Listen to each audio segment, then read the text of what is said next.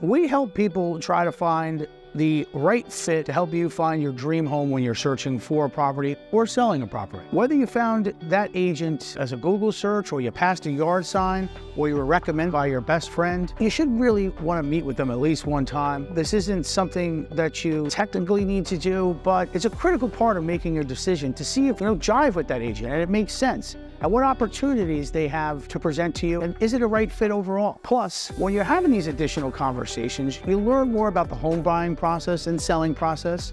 and you learn more about the poignant questions that separates agents in particular marketplaces and how they can help benefit you in selling or buying that particular property.